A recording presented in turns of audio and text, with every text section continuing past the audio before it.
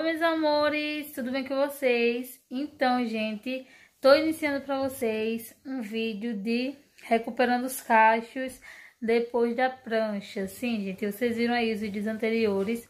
Acho que tá com três dias hoje e eu ainda tô de prancha, mas ele ficou bastante volumoso por conta da frieza e tudo mais. E amanhã eu já vou lavar meu cabelo para tirar a prancha dele, deixar ele natural de novo, porque eu já tô com saudade dos meus cachos.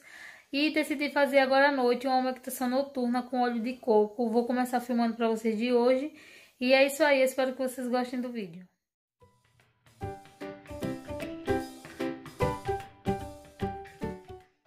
O óleo que eu vou usar é óleo de coco, tá, gente? Tá aqui dentro, mas... Porque foi minha irmã que me deu um pouquinho, ela botou aqui.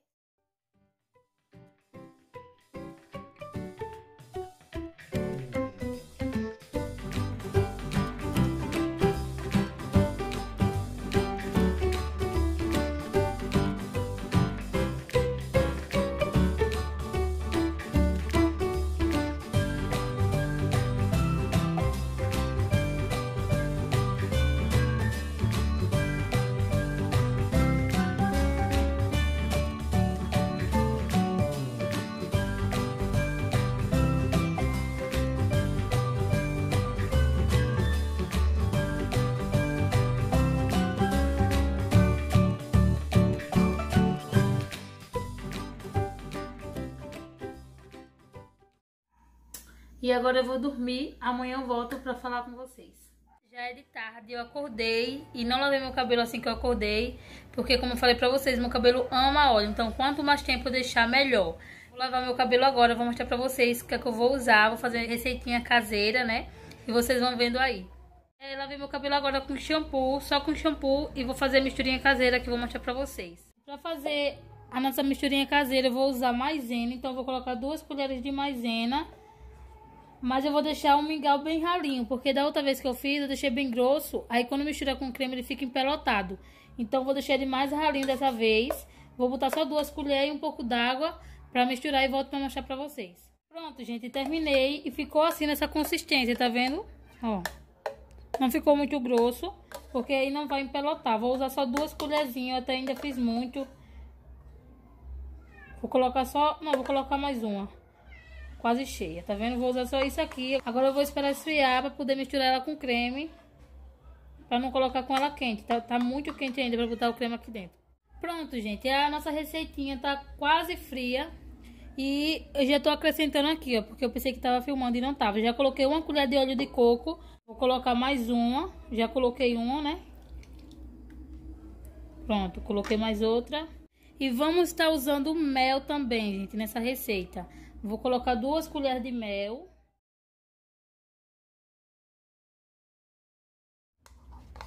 Pronto, gente. Vou logo misturar antes de colocar a hidratação.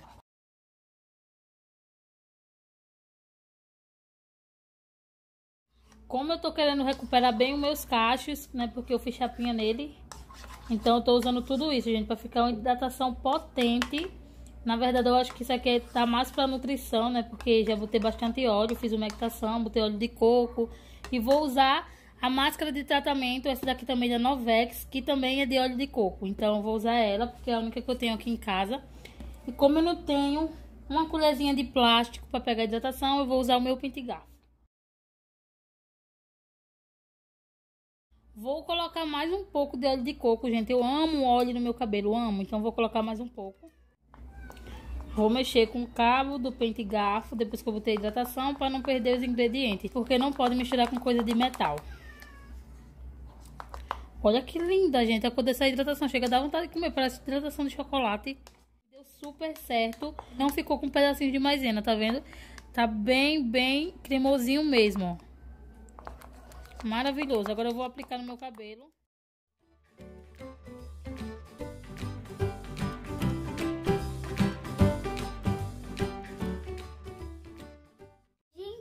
Hidratação perfeita. Estética não tem essa sensação que eu tô sentindo no cabelo.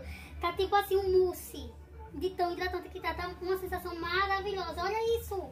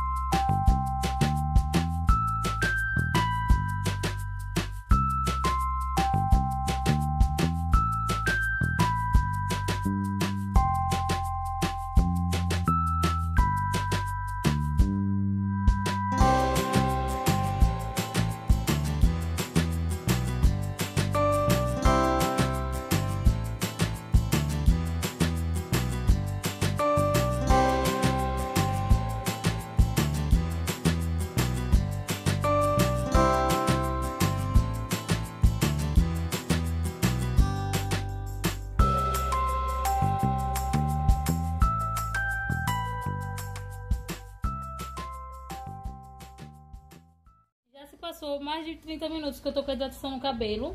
E agora eu vou fazer o condicionador. É, vou usar vinagre de maçã junto com o condicionador e também um pouco de hidratação dessa daqui da escala, que também é de amido de milho. Vou misturar tudo para poder passar no cabelo, para selar as cutículas e vou finalizar com isso.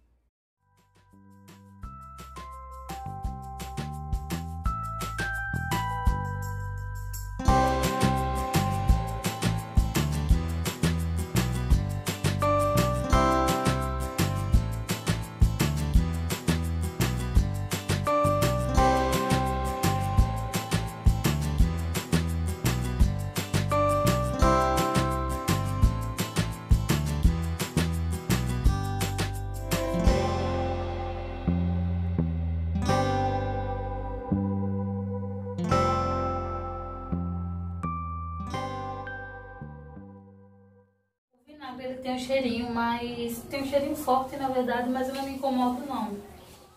Mas se você não gosta do cheiro do vinagre, você vai achar dificuldade em passar isso no cabelo, porque tem bastante cheiro de vinagre, apesar de ter passado creme.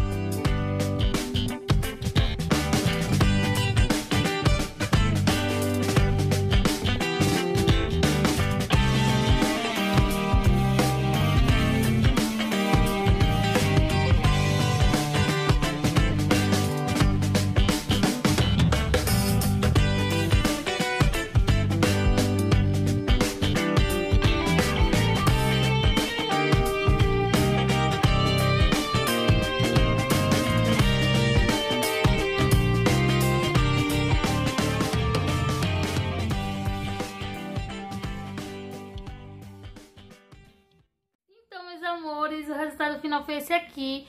Eu tô apaixonada no resultado desse cabelo. Tá muito soltinho, olha isso, gente. Que leveza tá esse cabelo. Tá muito soltinho, bastante nutrido, bem hidratado, gente. Tá muito brilhoso. Eu não sei se vocês estão conseguindo perceber aí, mas tá num brilho assim incrível. Gostei muito, vou fazer mais vezes. Eu já tenho usado mel na minha hidratação, mas eu nunca tinha usado vinagre de maçã. E eu simplesmente amei, gente. Vou virar de costa pra vocês verem o resultado final como ficou. E é isso aí, eu espero muito que vocês tenham gostado. Façam aí na casa de vocês. Principalmente se seu cabelo for ressecado, abuse no óleo como foi que eu fiz. Eu abusei no óleo, até na finalização coloquei óleo de coco também, porque meu cabelo ama. Vinagre de maçã, gente, perfeito. Não ficou cheiro no meu cabelo, tá um cheirinho bem bom de creme. O creme que eu finalizei é bem cheirosinho e só tô sentindo o cheiro mesmo do creme. Mas é isso aí, meu cabelo tá maravilhoso, eu amei. Um super beijo e até o próximo vídeo.